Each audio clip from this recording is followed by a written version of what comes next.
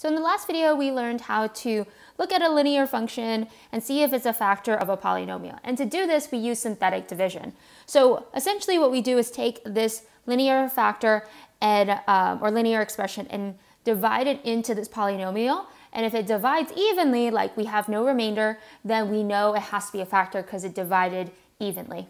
Um, let's see if this ends up being a factor. So what we do to do synthetic division is we make our box and the number that goes in this box is always um, the zero for the, the linear uh, expression. So if I take x plus 3 said equal to 0, so that's what I mean by finding the 0, is you set your expression equal to 0. Then solve for x. And so x is going to be equal to negative 3. So the 0 here for x is negative 3. Or some people do it pretty quickly by just looking at the linear expression and using the opposite um, the opposite sign, and so that would be a negative 3 instead of a positive 3. And so from here, let's look at our highest degree here is x to the third. So I'm going to do my labeling. So this is going to be x to the third, x squared, and then you just want to keep decreasing the power until you reach the constant. From here, put the number in front of the um, x's. So this is x to the first, uh, oh, a 1 in front of x to the third, so 1 underneath, then another one for x squared, a negative 30 for x to the first power, and a 41 for uh, the constant. So what you want to do is always bring down the first number, and then you multiply the bottom numbers with the number inside the box. So 1 times negative 3 is negative 3. And then we always add vertically. So 1 minus 3 gives us negative 2, and then take your bottom number again, multiply by the number in the box. So negative 2 times negative 3, positive 6, and then you add vertically, so negative 30 plus 6 gives me negative 24. Negative 24 times negative 3 mm, looks like a positive number. It's positive 72, and I'm doing this with a calculator, by the way. Uh, and then I, if I add vertically, 41 plus 72 gives me 113. So I'm nowhere near close to having a remainder of 0. By the way, the remainder is always the last digit, and in this case, our remainder is 113. So this did not divide nicely, so I know that x, x plus 3 is not a factor. And so if it's not a factor, I have to move on and try a different factor. Um, but in this case, they just want me to check if this is a factor so I can stop my, the problem here. So on the next problem here, it wants us to determine how many zeros does this equation have or this function has. So to determine is how many zeros there are, it's asking like basically how many solutions would you have? If you had to find x, how many x's would you have? Well, in this case, if we're looking for the number of solutions, by the way, another way to say zeros or solutions is roots. How many roots does x have is also another vocabulary we've learned. So it looks like based off of this equation, the highest power here is 3. So you always look at your highest power, and that determines how many solutions or how many zeros you have. So in this case, I'm going to have 3. So we're to have three um, zeros. And the reason why I know this is we always look at the highest exponent for x or the degree of the function. So we look at our equation, find the highest power. In this case, it's x to the third. That's going to tell us how many solutions there are or how many uh, zeros you're going to have. All right, let's move on to what we're going to be learning in this video specifically. So we've learned how to use synthetic division to help us factor. And the reason why we want to be able to factor these polynomial is because we want to solve for x. We want to find uh, those solutions that we're looking for, and factoring makes it easier. So one of the benefits with synthetic divisions is that it helps us check if a factor um, is a part of a polynomial. So we can check if something's a factor. And this helps leads us to finding all the factors or could potentially lead us to finding all the factors, which is good. So once we have all the factors, then we can set them equal to zero to solve for x. And finding x is actually helping us finding those x-intercepts.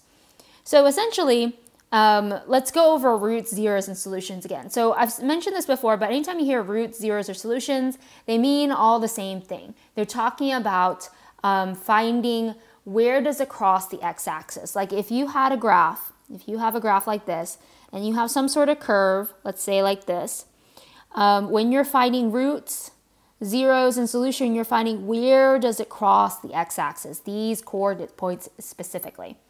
And sometimes you won't be able to see them.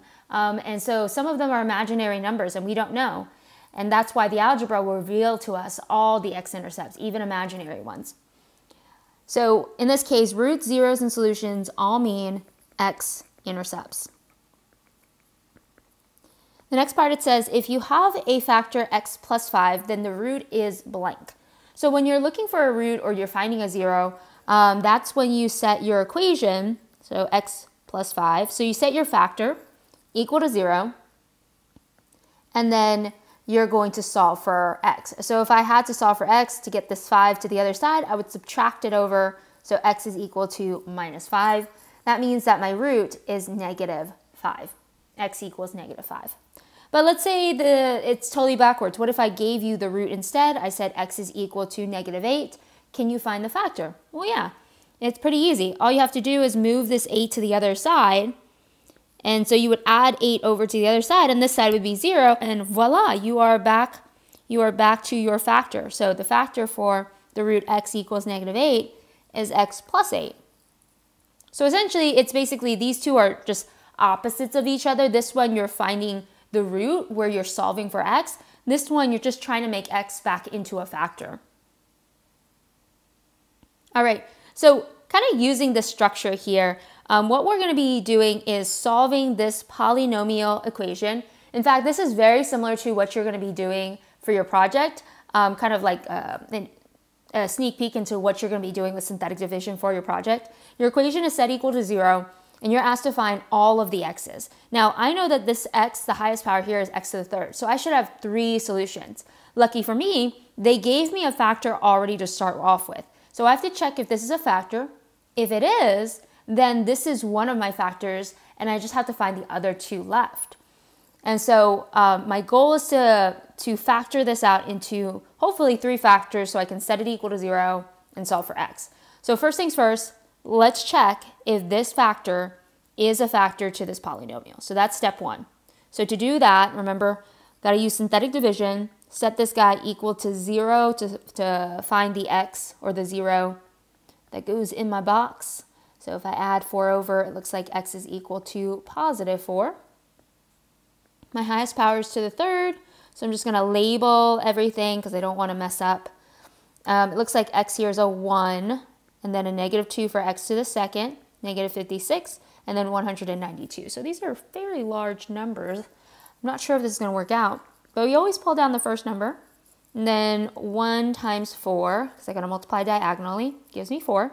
Then add vertically, which is 2.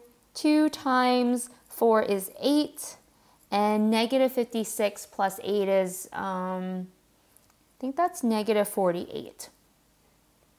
So negative 48 times 4 actually turns out to be negative 192.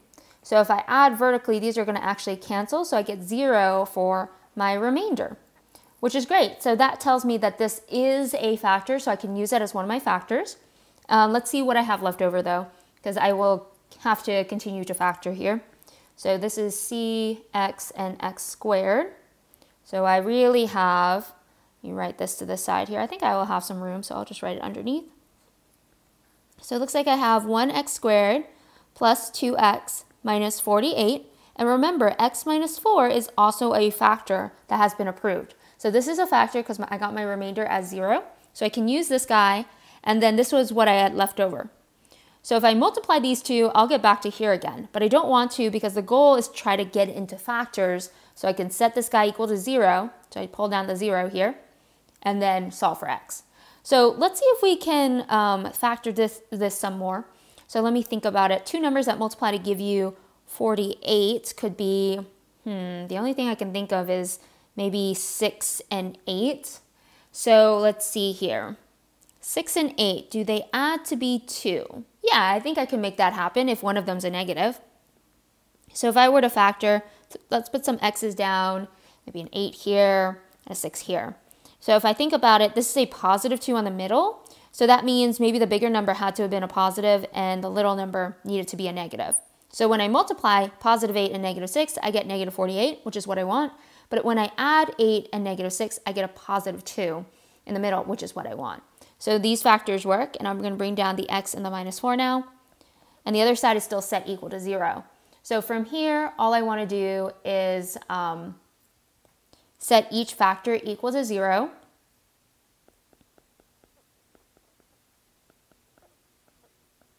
So I can solve for x.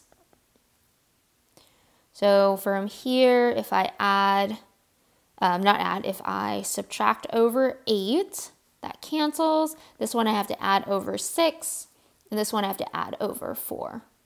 So I'm trying to get x by itself, but it looks like x is equal to negative 8, x is equal to positive 6, and x is equal to positive 4. So it looks like I have three solutions. x could have uh, hit the x-axis at negative 8, positive 6, and positive 4. And there we go we have our final solution. All right, let's try the next one here. So in part B, it's pretty much the same. You're given um, a polynomial set equal to zero. So you have to solve for x.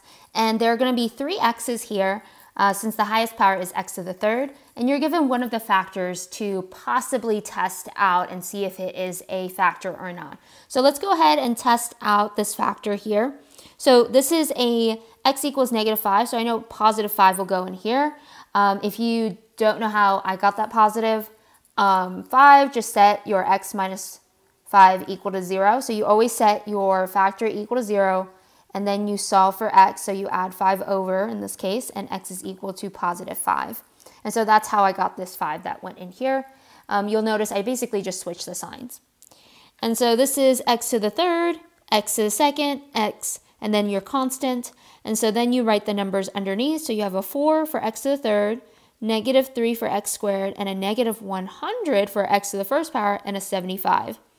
You're going to bring down the first number, like always, and then you'll have the 4 multiplied with the 5, so that makes a 20, and so that gives me 17 if I add vertically. So negative 3 plus 20 is 17. Uh, 17 times 5, uh, I'm going to double check that with my calculator. 17 times 5 gives me 85. If I add vertically, this gives me um, negative 15. And then I'm going to multiply this number with the 5, which gives me uh, 75, negative 75. And so if I add, this ends up being 0. So this is a factor. This does work because my remainder is 0. So I have my constant x and then x to the second power. So my equation here is actually 4x squared plus 17x minus 15. So this is what's left over, and I know that this here is a factor. So let me scoot this to the side here and try to do the math over here. So I have this quadratic that I got from dividing, and then I know that x minus 5 is a factor. So I'm going to set all of this equal to 0 and try to solve it. But let's first try to break this down a little bit more. So this is x to the second power, and there's a number in front of the x squared. So this is where I probably want to try to slide and divide. So I'm going to take the first term, slide it over to the last term. So this is the slide and divide method. If you've never learned this before, um, it's pretty easy to do. All you do is take your number in front of x squared and multiply it to your last constant here, or the last term at the end. So your constant. So this ends up being x squared plus 17x minus 15 times 4 is 30 or sorry, not 30, actually, that would be 60. So from here, I'm going to try to factor now, and it's easier to factor this way because notice this x squared now just has a 1 in front. So now I just have to focus on what two numbers multiply to give me 60 and add to give me 17. Well, I know two numbers that multiply to give me 60 are like, um, what would work? 6 and 10 multiply to give me 60, but they don't add to give me 17. 20 times 3 I think would work. 20 times 3 gives me 60, but if I subtract the 3, I would get a 17. So I think this is my winner here. So let's put the x's down. Let's do a 20 here and a 3 here. Now I need this to be a negative 60, but the middle term's a positive, so the bigger number needs to be positive, smaller number needs to be negative. So 20 times negative 3 gives you negative 60, but 20 plus negative 3 gives you positive 17. So this works. But remember, you have slided, you have not divided out the number you multiplied. So the number I multiplied with is 4. So I'm going to divide both digits by 4. Um, and so from here I have x plus 5 if I divide 20 with 4. This 4 doesn't divide with 3 nicely, so I'm going to put the 4 in front of the x, so this becomes 4x minus 3. All right, so now I'm going to bring down this factor x minus 5, and I'm ready to set each factor equal to 0. So I'm going to set x plus 5 equal to 0, x minus 3 set it equal to 0, and x minus 5 set it equal to 0. So if I solve, I'm just going to try to get x by itself. So this ends up being x equals negative 5 for the first one. So that's my first solution. The next one here, I have to add 3 over. That cancels. 4x comes down. This is a 3. I'm going to divide over 4. So x equals 3 over 4 for the next one. Okay, 2 down, um, 2 down, 1 to go. So this next one here, I just have to add over 5 to try to get x by itself, so not too bad. So x is equal to positive 5 as well. All right, so I have one, two, three, three solutions. So I know I'm done because this is x to the third power. There should only have been three solutions. Okay, so when you're given a factor, what you have to do is you test it out and see if it actually is a factor and it can be a part of a solution. So once you use it to, to test it out, you also get the remainder factor. And so you're gonna try to factor that even more if, if needed. And then from there, set all your factors equal to zero, and then you're able to solve very quickly. All right, in the next example, we'll talk about what do you do when you're given a root instead of a factor, and how do you find the solutions for that.